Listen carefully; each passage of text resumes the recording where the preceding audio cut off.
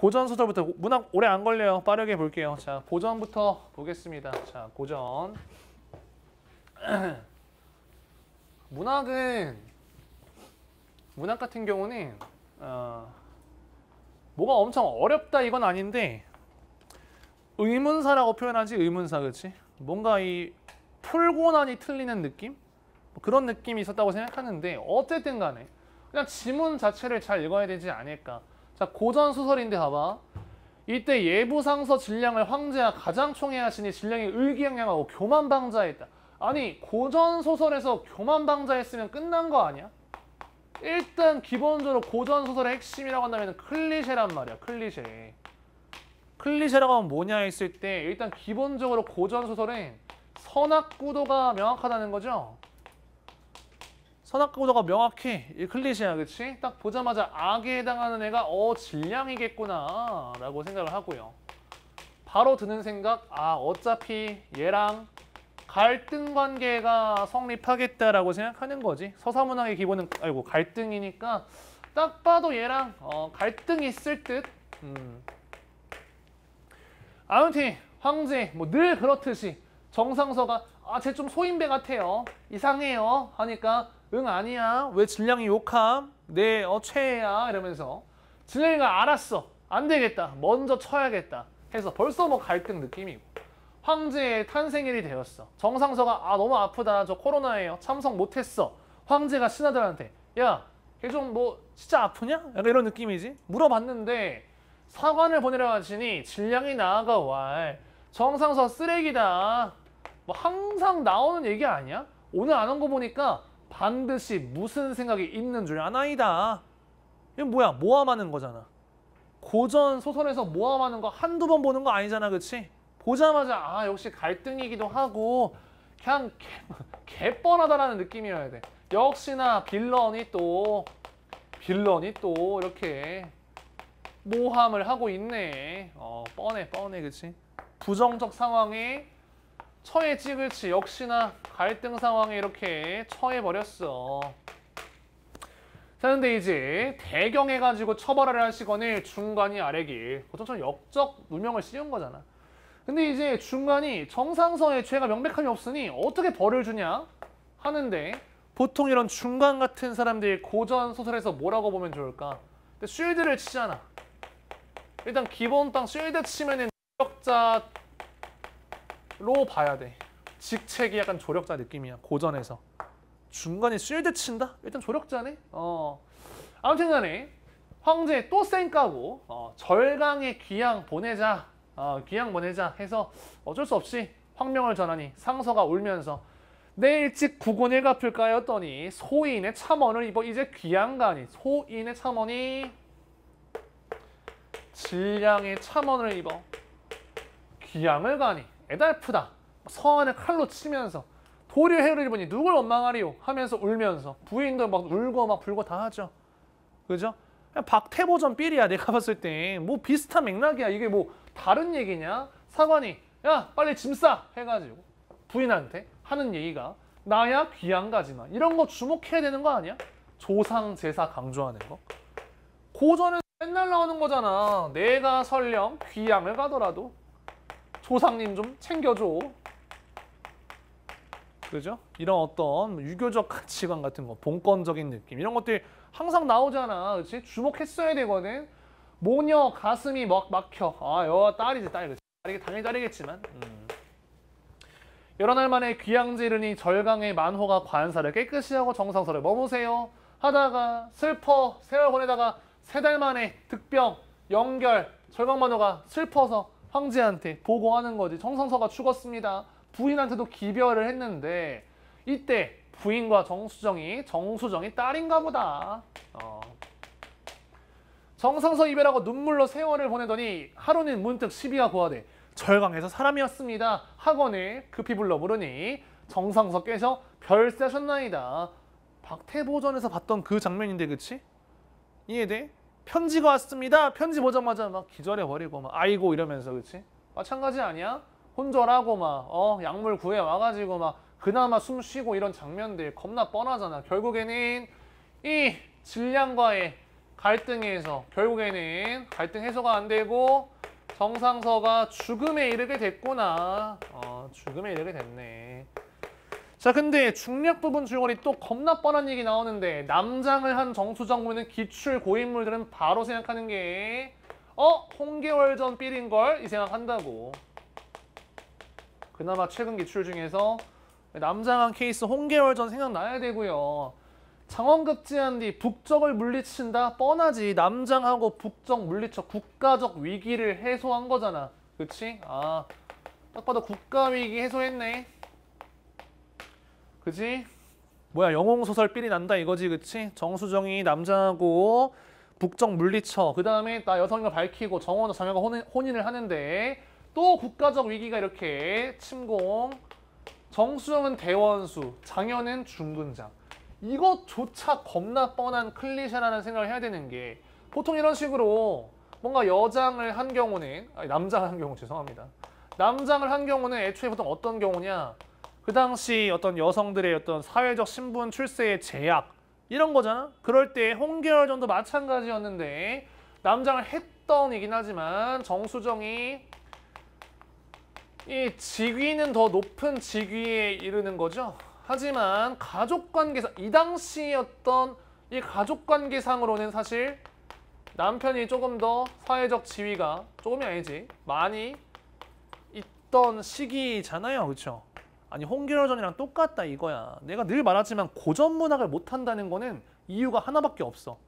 고전 문학을 덜 풀어봤다. 그거 말곤 답이 없어. 고전 소설도 보다 보면은 맨날 똑같은 얘기야. 왜? 그 당시엔 저작권이 없었기 때문에. 라고 교수님이 우스갯소리로 농담 반 진담만 말했는데 그래서 모티프라는 게 있는 거고 근데 요새도 다를 바는 없거든 사실 웹툰 보면은 맨날 학교 일진 폭력 찐따 복수극 이거 그냥 수십 개 있어 네이버 웹툰에 물론 저도 많이 보긴 하지만 찐따여가지고 아무튼 간에 아니면 이세계 아니면 환생 이 당시도 마찬가지 느낌이야 어쨌든 대원수가 호황에 승리하여 황성 향할세 강서지경에 이르러 한복더러 묻기를 질량의 귀향지가 얼마나 되는가? 어? 질량 귀향 갔나 보네? 뭐 이런 생각이 들면서도 그죠? 왜 물어보지? 라는 생각이 들잖아. 왜 물어보지? 왜겠어? 딱 봐도 복수각 아니냐? 딱 봐도 복수각? 괜히 물어보는 게 아니잖아. 그치? 질량하자면 정수정 아버지를 귀향 보내서 죽은, 죽게 한 사람인데 대원수 분부하되 거느려 결박해서 와라. 잡아왔어. 어, 잡아왔어. 잡아와가지고 대원수가 진량을 잡아들여 장하에 꿇리고 노기 대발하여 부친 모함 죄상을 문초하니 살려주세요 하는데 그냥 죽여버렸지. 그 당연히 죽일만 하고 게 제사 지내고 황제께 첩서 올려 승전 알리고 중군장 장현을 기주로 보내고 대군 지휘하여 경사를 향하여 궁궐에 이르니까 황제는 어떻게 칭찬하고 뭐 이제 제후의 작위를 주고 thank you 하고 청주 간다 이거야 그치? 근데 사실 이런 것조차 고전 소설의 좀 클리셰야. 기출 중에서 유충열전이라는 게 있습니다. 유충열전에서도 분명히 물론 빌런이 모함해서 자기 아버지랑 장인어른이 귀양 가서 죽게 된, 그 죽은 걸로 알게 된 경우인데 임금한테는 안 따진다는 거지. 이해돼? 임금 잘못도 있잖아, 사실은. 근데 전혀 따지지 않는 것조차 이것도 클리셰라는 거네. 그래서 이 같은 경우는 유충렬전에서 봤던 것처럼 결국엔 이렇게 원수한테 복수를 하고 하지만 황제한테는 뭐라 하지 않는 대신 오히려 황제한테 뭐 이렇게 어, 자귀를 받는다거나 아무튼 차설 창윤이 기주에 이르러 모친 태부인 배웠고 전우사는 고하되 태부인이 빡쳐한다. 어? 갑자기 왜? 이래야 되겠지? 우리 아직 그 중간 내용을 모른다고 했을 때 그치? 물론 연계긴 하지만 너를 길러 벼슬이 공호에 이르니 기쁨이 측량했던 차에 전쟁터에서 부인에게 욕을 보고 돌아올 줄 어찌 알았으리오. 시어머니 입장에서는 화날 만한 일이고요. 이 당시 사회상으로는 더더욱 그럴 만한 건데 우리 입장에선 물음표라고 할게. 어? 뭔 소리지? 중략 부분 중에 뭐가 있었나? 했는데 그 뒤에서 자 장현의 다른 부인들이 원부인과 공주가 이르기를 정수정 벼슬이 높으니 능히 제어치 못할 것이요 저 사람 또한 대의를 알아 삼가 화목할 것이니 노하지 마소서 하는데 어떤 친구가 그런 얘기 하더라고 저 사람을 꼭 정수정으로 봐야 하나요? 하는데 뭔 말인지 아나? 저거 장현으로 보면 안 돼요? 뭐 이런 식으로 얘기하더라고 누가 근데 이 맥락상 맥락상 이게 시어머니한테 이 정수정을 쉴드 쳐야 말이 되는 거거든 이게. 이해되니? 당연히 나올 타이밍이 아니고 그쵸? 어 아니야. 그래서 아마 이것도 이제 삼가 화목할 것이니 너무 화내지 마세요. 태부인이 그렇게 여겼어 얘들아. 아 오케이. 좀 설득이 됐어. 편지를 줬어. 정수정한테 보냈는데 이거 주목했어야 되겠죠. 정수정은 전쟁에서 장현을 징계한 일로 답답했다. 아 이 앞에서 나왔던 이 갈등의 요인이 이 갈등 요인이 태부인의 이 통분. 왜 통분이었냐 했더니 알고 보니까 어, 태부인 통분과 정수정의 내적 갈등. 정수정의 내적 갈등. 왜 있던 거예요? 전쟁터에서 남편한테 징계를 썼나 보네. 그지? 연결이 돼야 된다고 그치? 근데 기주에서 신녀가 왔습니다 들여보내라 서찰 태부인이야 어? 시어머니가 왜 카톡을 하셨지? 읽었는데 기뻐해. 기뻐한다는 건 뭐야? 앞에서 태부인이 그렇게 여겨서 서찰을 보낸 걸 받은 거잖아. 라는 건 뭐야? 갈등이 해소가 이미 된 상태라는 거지. 여기서 갈등이 어느 정도 내적 갈등이 해소가 되고 그거를 서찰로 보냈으며 정수정이 그 서찰을 받고 본인도 기뻐하면서 이해되시죠? 그래서 뒤에서 어떻게 되냐 결국에는 태부인도 거리낌 없어 하고 정수정도 지성으로 섬기고 갈등 해소가 됐다. 이것조차 유충렬전 느낌이야. 적군을 그쵸? 국가적 위기를 해소함과 동시에 개인적 갈등까지 해소가 되는 원수도 갚고 그치? 문제 어렵지 않았습니다. 황제 총애하는 사람 질량 듣고 처벌해야지. 이번 선지 선 넘네요. 조력자 같은 느낌. 3번 선지 소인의 참언 때문에 질량 때문에 가게 되었다. 4번 선지 한복은 대원수의 명령에 따라 죄까지 묻고 처벌까지 내렸냐. 치사하다고 생각할 수도 있어. 이 선지가. 늘 말하지만 고전 소설의 내용 일치가 원래 가장 좀 디테일하게 물어본다. 물론 이번엔 현대 소설의 내용일치도 여러분들이 낚였을 수도 있겠지만 고전술 내용일치는 이런 거 구분해야 돼. 그지? 잡아오기만 한 거잖아. 이해돼? 어렵지 않았죠? 4번 선지가 정답이 된다. 19번도 어렵지 않았습니다. 2번 선지 정상서. 아 뭔가 비보가 전해질 것 같구나. 그냥 그냥 개소리야 이거 그지? 헛소리입니다. 2번이 정답. 20번은요. A와 B에 대한 이해라고 했는데 자 B 같은 경우는 첩서였을 거란 말이야. 그래도 어렵지 않았어 그치? 첩서 왜 보내냐 했을 때 전쟁 이긴 거 보고하려고 보냈겠지? 첩서 맞나? 그죠?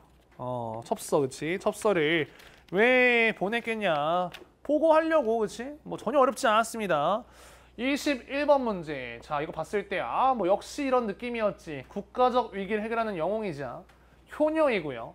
장씨 가문의 며느리 여성입니다. 갈등하긴 하지만 모든 역할에 충실한다. 1번 선지, 야, 질량 회사 얼마나 되냐? 부친 한 풀어주려고. 2번 선지, 이 재상을 차려 제사 지내는 모습, 질량을 죽인 다음에 하는 거죠. 원수 갚는 거. 3번 선지 파악했어야 되는데 아내의 역할보다 대원수 역할을 중시한 것에 대해 못마땅해 하는 거였죠. 당연히 파악했어야 되는 거 아니야? 갈등의 원인인데. 오케이고요. 4번 선지 진짜 겁나 뜬금없어. 장현을 일로 답답해하는 게 아, 다시 내가 대원수가 되고 싶은데 뭐 뜬금없잖아, 그치? 물론 이런 남장을 하고 전쟁터에 나가는 소설에서 이런 류의 어떤 장면이 나오는 경우는 있지. 그지? 홍계열전 같은 경우도 심지어 전쟁터에 나갔다가 규중에서 막 혼자 틀어박혀가지고 그냥 바둑이나 두고 쓸쓸해하고 이런 거 나오긴 해. 근데 4번은 전혀 상관없잖아, 그치? 4번이 정답이 되겠습니다. 바로 이제 예, 바로 현대시 보겠습니다. 현대시 같은 경우는 연계빨이 제대로 있었죠 사실상 그죠? 7회차 작품 연계된 거는 좀 개이득이긴 하지 그치? 7회차 나왔던 작품이 바로 9평에 나왔으니까 근데 이 감이 원래 마지막 회차가 진짜 겁나 중요하긴 하거든요 작년 수능에서도 브레톤즈가 이 감 지금 우리 1회차 본 거란 말이야 아침에 10회 차에 브레톤즈가 있었어 사실 뭐 작년에 안 봤던 분들은 모르겠지만 저는 시험지 보고 그 생각했지. 야 이거 이감 이감 뭐 깜빵 가는 거 아니냐 이러면서 말이 돼 했었는데 뭐 올해도 적중을 할 수도 있고 뭐 안 할 수도 있겠지만 안 하면 뭐 안 하는 대로 그냥 잘 보시면 되고 근데 할 가능성이 좀 높다. 개연성은 좀 높다. 아무튼 자 현대시 뭐부터 해야 돼? 보기 먼저 봤어야 되는데 얘 같은 경우는 가나다에 대한 정보가 앵간하게 다 주어진 느낌이었단 말이야. 앵간하게 주어진 느낌. 자, 가 같은 경우는 첫 번째 보기에서 뭐라고 했냐면은 금강산 가는 길에 어, 만난 자연의 모습. 그래서 뭐 자신의 내면에 투영했대요. 되게 뻔한 얘기 아니야? 뭐 자연물 보고 뭐 자기 생각 이런 거 하는 거겠지. 주관적으로 뭐 묘사하고 나 같은 경우는요. 우리 다 아는 거긴 하지만 길 했을 때 길에서 뭔가 어, 생각이 치우쳐 있어. 여기서 성찰로 나아가야 될 텐데 뭐 이런 얘기. 성찰의 중요성. 다 같은 경우는 뭐라고 했냐 두 가지 얘기했다 했으면 두 가지. 얘 같은 경우는 개인적인 경험과 공동체의 경험 대비되는 이야기라고 했는데 슬픔을 환기하는 기억 아마도 뭐 슬픔이지 않을까? 왜냐면은 풍속 얘기니까 풍속이니까 유쾌한 축제니까 뭐 이런 느낌이지 않을까? 늘 말하지만 현대시나 수필에 시간 많이 쓰시면 안 됩니다. 그죠? 뭐 시 감상하겠다고 시간 많이 쓰시면 안 돼요. 빠르게 그냥 보기 내용 적용하는 정도면 충분해. 자, 어느 정도냐면 그게 딱 1년 봤을 때 아, 아득히 첩첩한 이런 어, 산길에 왔어. 인기적 끊이고 뭐 아무것도 없어. 화난 고를 아득하는 생각에 잠기어 왔다. 뭔가 화안하다라는 것도 뭔가 밝은 이런 느낌이긴 한데 이런 거 몰라야 돼. 진짜 몰라야 돼요. 그냥 생각에 잠겼다. 아, 이 산길이 금강산인가 보다. 금강산 와서 그냥 뭐 생각하고 있네. 이 정도면 돼. 뭐 더 생각을 할 수도 있겠지. 뭐 아무것도 없어 이런 거라든가 좀 더 보이면 보이는 거지만 최소한으로 보고도 문제 푸는데 지장이 없어요. 그 다음 같은 경우 백화, 뭐 나무 이름인데 몰라도 되는데 백화나무 앙상한 사이를 바람의 백화같이 불리우며 물소리에 내가 흰돌에서 찢기우며 나는 외로움도 잊었다. 뭐 앞에 이런 것도 사실은 물소리에 흰돌 되어 씻기웠다. 이거를 내가 돌이 돼서 물에 씻기는 느낌이다라는 뜻인데 안 보여도 돼. 근데 늘 말하잖아. 시를 읽을 때 우리가 열심히 안 읽어도 되는 이유는 뭐야? 평가원이 나한테 뭘 물어보려면은 자기가 나한테 해석을 해서 줘야 돼. 내가 할 필요가 없어. 나는 그냥 보기를 적당히 빠르게 적용만 시키면 돼. 그냥 되게 건성건성. 음, 외로움을 잊었다고? 뭐 이런 뭐 주관적 반응하고 있네. 뭐 정서적, 정서가 좀 이제 아, 원래, 원래는 외로웠나? 그러다가 살다가 오래여 삭은 장목들, 오래된 봉우리들, 흰 구름 날리며 섰더니라. 그냥 어떤 자연에 대한 인상 같은 거네. 뭐 인상 이렇게 얘기했고, 오케이. 한종일내 쉬지 않고 부는 물소리, 바람소리, 낙엽 떨어지는 장면이고 그냥 별 생각 없어도 돼. 낙엽 얘기하고. 별 보고요. 별 보고. 나의 이 오늘 밤 선정인데 얼어붙는 바람. 어 이건 좀 뭔가 안 좋아 보이는데? 얼어붙어? 얼어붙는 바람? 하다가 다시 꽃처럼 난만해? 뭐 이건 좋은 건가? 이런 생각. 뭐 필기하고 딱히 없고 생각할 거 별로 없어. 그냥 가를 빠르게 읽으면서 아 이런 식으로 자연을 얘기했구나 정도면은 충분해. 억지로 막 긍정 부정을 때리지도 않았어, 그렇지? 예를 들면 뭐 앙상하니까 부정 뭐 이런 거 굳이 안 해도 된다고 생각해, 그렇지? 왜냐면 이것도 함부로 내가 앙상하다고 하기에는 부정이야, 그렇지? 근데 외로움을 잊었다고 하기엔 긍정이란 말이야. 오히려 내가 항상 얘기하지만 이거를 디테일하게 긍부정 따질 필요가 없는 게 더 헷갈려 수능 시험장에서. 그냥 뭉뚱그려서 자연에 대해서 뭐 주관적으로 그냥 보이는 모습을 얘기하네. 요 정도면 충분하거든. 디테일한 해석은 누가 하는 거야? 디테일한 거는 평가원이 한다 이거야, 그렇지? 어차피 디테일한 포인트는 평가원이 나한테 물어볼 거니까 아니 그때 가서 생각하면 돼. 다시 읽을 때 시간 뭐 1분 이상 썼으면 잘못됐어. 이해되니? 아 이게 뭐 뭔 말이지? 어, 장목 뭐 뭘까 이러면 그냥 안 되고 나 같은 경우도 우리 뭐 다 아는 작품이지만 어디까지 봤어야 되냐? 한 제가 봤을 때는 제가 봤을 때는 여기까지라고 보면 될 것 같아. 어 여기까지 어딨냐? 여기까지. 길의 뜻이 거기 있는 줄로만 알지 성찰하게 한다는 것은 모른다. 그죠? 뭐 앞부분에 했던 것처럼 앞부분까지만 치우쳐 있는 생각이고 뒷부분이 성찰이네 정도면 충분해. 그치? 어, 다 같은 경우는 어떤 다 같은 도 마찬가지. 다도 수필인데 봐봐. 어차피 슬픔과 즐거움 얘기할 거거든요. 빠르게 읽는 거야, 빠르게. 고요한 이 밤에 샘물 같은 눈, 수선 한 폭을 들여다봅니다. 하다가 이 노란 슬픔의 이야기를 좀 해도 될까요? 아, 얘 슬픈 얘기하려고 지금 각 잡네?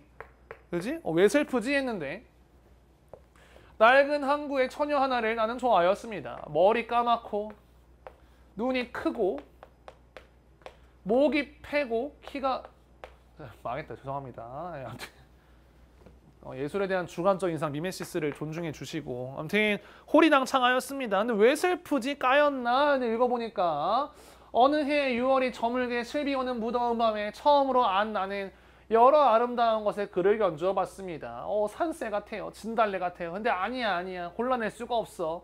똑똑한 친구가 야, 수선화 어때? 어, 수선화 같아. 근데 그러한 나의 수선이 시들어갑니다. 병을 얻었습니다. 아, 이래서 슬펐구나. 라고 생각을 했고요. 진짜 제가 실제로 이 질문 풀었을 때는 어떻게 했냐면은 그 뒤에다 여기까지 읽었던 것 같아요. 여기까지. 뭐라 써있냐면은 밤이 아직 셀 때가 멀고 복밥 먹을 때 되지 않았습니다. 나는 어쩌고 하다가 남은 밤을 좋아하실 내 시골 얘기를 해야겠다 했을 때 굳이 안 읽었어. 굳이 안 읽었어. 왜냐면은 그러니까 이게 뭐 스킬 이게 아니라 어차피 수필은 제가 항상 얘기하는 게 전반적인 주제만 파악하면 되고 내가 그냥 어디까지 슬픈지랑 왜 슬픈 것까지 알았어. 그지? 그냥 그 뒤는 내풀 때는 뭐 어쨌든 간 뭐 풍속 얘기하겠지. 막 즐거운 얘기 하겠지. 이따가 물어보면 보면 되지 뭐 하면서 넘어갔는데 선생님인 수능 보시는 거 아니니까 막 그런 거 아니에요? 라고 할 수 있겠지만 저는 원래 고3 때도 그랬고 주제가 뻔하니까 그렇지? 뭐 이런 거 틀리는 거 아니잖아. 내가 늘 얘기하는 게 꼼꼼하게 본다고 해서 안 틀리는 거 아니고 과감하게 본다고 해서 틀리는 거 아니야. 맞고 틀린다는 거는 그냥 정답 고를 때 내가 논리적으로 근거를 뭘 잡았냐가 중요한 거지 선지 다섯 개를 다 본다고 해서 정답이 높아지는 거 아니라는 거야. 이 되게 중요한 부분이고 문학에서 시간 단축할 때 필요한 부분인데 뭐 22번에 빗대어 표현하는 방식 이거 해설지 참고하시면 될 것 같아요. 이거는 솔직히 내가 그냥 찾아주는 거니까 굳이 뭐 설명 안 할게. 해설지 보시고 23번 바로 보겠습니다. 얘 같은 경우 보기 아까 읽었고요. 1번 선지 봤어. 내가 이 가시를 만약에 열심히 읽었으면 나는 시간을 손해본 거라 생각해. 비효율적이었다. 왜? 물어보는 거 봐봐. 화난 골, 백화앙상한 사이. 자연의 모습인가요? 네, 자연의 모습입니다. 이해돼? 뭐 이거 뭐 엄청난 대단한 해석을 시키지 않아. 2번 선지. 바다의 별, 하늘의 별. 자연에 대한 어떤 주관적 인상이지 않을까요? 뭐 주관적 인상이겠죠. 그죠? 이런 느낌이야. 문학을 잘하는 친구들은 이런 느낌으로 본다고. 3번 같은 경우에도 이제 벼랑 앞에서 낭패를 겪는 사람들의 상황, 자신의 관점을 이를 이해한 사람 일깨우려 한다. 여기까지도 그냥 연계였고 아니까. 4번 선지 딱 봤어. 연계빨이긴 했지만 나도 세상 사는 이치에서 내면의 길, 성찰. 어 이거 성찰 이끌어낸 사람들이 아닌데 확인. 얘만 확인하고 역시나 답이네. 요 느낌이 됐어야 된다는 거야. 이해되니? 이건 물론 연계놀이가 너무 직전에 봤던 거여가지고 좀 가능한 거긴 하지만 선생님은 뭐 맞겠지 하다가 보고 아이 뭐야 빼박이네 해서 답은 4번이다. 자, 그 다음에 24번 문제 같은 경우에도 제가 제 시험지에도 써놓긴 했지만 일부러 써놨어. 왜 써놨냐면은 내가 진짜 풀 때 했던 생각을 애들한테 말해주려고 좀 기록을 해놨는데 뭘 기록해놨냐면은 그대로 설명하면 이런 거야. 1번 선지를 봤어. 봤는데 9월은 화자의 고뇌가 심화되는 시간 했는데 사실 기억이 안 났어. 9월 기억 안 나. 했을 때 패스를 시험지에 써놨어. 이해돼? 내가 했던 생각 기억 안 나? 패스. 2번 선지 같은 경우는 솔직히 잘 모르겠지만 그냥 재회에 대한 기대는 아닐 아니지 않나 정확하게 떠났어. 아니지 않나? 물론 이 뒷부분을 안 읽긴 했지만 이 수필의 주제 자체가 뒷얘기 자체가 저희 마을의 풍속을 들려드릴게요 이거였단 말이야. 만나고 싶다는 아닐 것 같은데 일단 넘어가자. 이 스크리닝을 하는 이유가 뭐냐면 선지를 빠르게 보면서 그래도 내가 좀 기억나는 거 내가 좀 봤을 때 익숙한 거 답 같아 보이는 거 이걸 먼저 스크리닝을 하는 건데 3번 선지 같은 경우도 기억 안 나. 나 솔직히 기억 안 남. 4번 선지 같은 경우는요. 오늘 밤엔 화자가 고향에 대한 기억을 살리는 고향 얘기가 있었는데 가시랑 가시랑 고향 뭐 여기 아니지 않나? 라고 생각했어. 그렇잖아. 가에서 고향 얘기는 안 했던 것 같은데 하고 이제 5번까지 왔는데 아까 전에 가에서 인기척 끊긴 한낮에 뭔가 뭐 먼 생각에 잠긴다. 뭔가 뭐 생각한다 했었어. 어 이거 좀 기억나. 맞아 생각한다 했었지. 아직 셀 때가 먼 이 남은 밤 제가 썰을 더 풀어도 될까요?가 딱 내가 마지막으로 읽었던 부분까지였단 말이야. 저희 고향 얘기 좀 해도 될까요? 아유 기억난다 이거. 이거 답 같은데 확인해 봐야지 정답. 라고 한다면 여러분들 입장에서 당연히 선생님 다섯 개가 다 기억이 안 나실 수도 있잖아요. 그죠? 뭐 그런 경우도 있을 수 있고 아닐 수도 있겠지만 이 스크린 시간이 길지가 않아.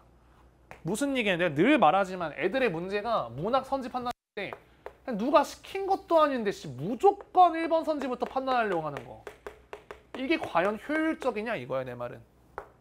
이해돼? 이게 과연 효율적이냐 이거야. 선지를 빠르게 본 다음에 내가 4번이 가장 익숙하거나 가장 뭐 판단할 수 있을 것 같으면 얘부터 보면은 뭐 확인을 하시든 판단을 하시든 뭐 4, 5, 3, 2, 1 가도 되는 거잖아. 이해되니? 그 과정이 앞부분에 있으면 좋겠다 이거야.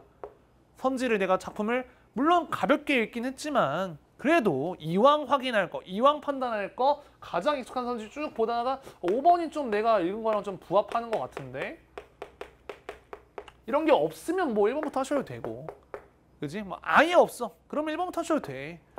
손해 보는 거 아니야. 그래도 그렇지? 약간의 시간 투자해서 이득을 볼 수 있고 예를 들면 한 이거 먼저 스캔할 때 한 10초 투자했을 때 내가 1번부터 봤으면 이 문제 푸는데 뭐 예를 들면 1분 30초 걸린다 쳐. 그렇지? 10초 투자해가지고 보고 문제 자체를 2, 30초 안에 풀 수 있다면 개이득 아니냐 이거지 그렇지? 이해돼? 어, 충분히 감당할 만한 리스크다. 그래서 5번 선지가 정답이 되고요. 나머지는 해설지 참고하시면 될 것 같습니다. 자, 25번도 마찬가지 느낌인데 사실 이게 더 쉬워. 왜 더 쉽냐면이 아무래도 적절하지 않은 거를 판단하는 게 좀 더 쉬워. 왜? 다섯 개 중에 네 개는 맞는 거니까. 마찬가지로 스크리닝 하면서 가장 좀 같은 거 찾으면 돼. 1번 딱 보고 가에 대한 이해니까. 생각에 잠긴다. 뭐 이렇게 대응시키냐? 맞아 보이는데. 이원 선지 물 물소리에 흰 돌에서 씻기우며 했을 때. 뭐 자연과의 관계 화자의 정서 뭐 맞아 보이네. 뭐 그렇겠지. 3번 선지는 판단까지 가능한 것도 오래여 삭은 장목들. 유구함. 오래된 거. 풍설에 깎여 날서 어뭐 오래된 거. 오케이 4번 선지도 딱 봤는데 오케이 딱히 뭐 거슬리는 선지가 없어 아직까지는 거슬리는 게 없네 하다가 5번 선지 딱 봤는데 뭐가 보이냐 대충 쓱 보고 왔는데 화자의 태도 변화? 어? 가시 태도 변화는 솔직히 없었던 것 같은데 그지? 확인하는 거죠 5번 선지가 정답이 된다는 거야 이해되니? 이게 돼요 라고 했을 때 중요한 게 되든 안 되든 해보는 합니다 이해돼? 좀 쫄보여가지고 1번부터 꼭 봐야 되니까 왜 1번부터 봐야 되냐고 각각이야? 5번부터 봐도 3번부터 봐도 되고 어차피 다볼 먼저 뭐 괜찮아 보이 괜찮아 괜찮아 괜찮아 보이고 어요 태도 변화 어 정답 같아 이해돼? 이게 실력이 쌓이면은 진짜 빨라. 저 같은 경우는 사실 자연감이 이거 눈에 보이지도 않아요. 뭐 대충 뭐 되게 뻔한 얘기 한다 하다가 아 이것도 되게 뻔한 개소리를 한다. 이게 여러분들 문학 기출을 진짜 많이 보잖아요. 그러면은 적절하지 않은 걸로 나오는 패턴이 은근 그렇게 많지가 않거든. 태도 변화, 극복 의지 뭐 이런 것도 있잖아 왜? 혹은 맞아 보이는 거 나오는 경우는 뭐 시상심화 이런 것도 있잖아 그렇지? 반복 강조 이런 것들. 그러니까 은근히 기출 문제 많이 보면이 충분히 감각적인 부분도 충분히 키울 수가 있다. 그래서 5번 선이 태도 변화 아니니까 정답이 되겠고요. 26번도 적절하지 않은 것을 골라라 라고 했는데 얘 같은 경우에도 마찬가지야. 얘도 우리가 연계가 되어 있기 때문에 빠르게 봤을 때 예를 들면 이것도 1번 같은 경우에는 뭐 기억이 날 것 같기도 하고 얘나 얘는 기억 안 날 수도 있어. 근데 길이 사람한테 복종한다? 아, 이거 딱 봐도 이상하지 않냐? 안 이상해요? 우리 연계 7회차에서 봤잖아. 길이 복종하는데 이상해 보이잖아. 그치? 혹시 모르니까 이런 것만 확인하는 식으로. 저는 그래서 이 세트에서 시간을 진짜 많이 줄였어. 이 문제들에서. 왜냐면 문제를 어렵게 안 줘서 그런 것도 물론 있겠지만 원래 이렇게 푸니까 조금만 쉽게 나왔을 때 시간 단축을 진짜 많이 할 수 있다는 거야. 내가 좀 잘 아는 작품이거나 아니면은 좀 그냥 잘 모르는 작품이어도 가장 답 같은 거 보고 판단하자. 복종할 리가 없다. 나머지 27번 문제. 자, 당신에게 쓰는 편지 형식의 수필에서 글쓴이는 개인적 경험과 공동체적 경험으로 대비되는 두 가지 이야기를 들려준다. 슬픔 한기의 기억이라면 은 일탈용인 아까 읽었고요. 그렇죠? 아까 이제 봤는데 1번 선지 보겠습니다. 글쓴이가 당신에게 말하는 형식 수신인 어, 그렇지 맞춘 애가 수신인이 된 것 같아. 2번 선지 노란 슬픔의 이야기 개인적 경험 맞죠? 맞습니다. 자, 그 다음에 3번 선지 딱 봤을 때 육보름에 대한 당신과 글쓴이 경험을 대비하는 게 좀 이상하지 않나? 아까 말했지만 왜, 왜 이상하냐? 이 수필의 주제가 내 마을에 대한 경험을 들려주겠다 이거잖아.